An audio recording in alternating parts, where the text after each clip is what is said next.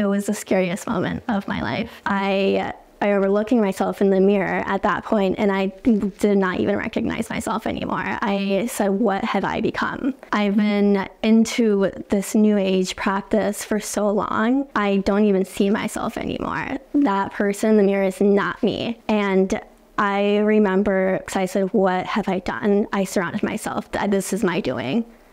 And I remember running to my room and dropping to my knees and I said, I'm so sorry.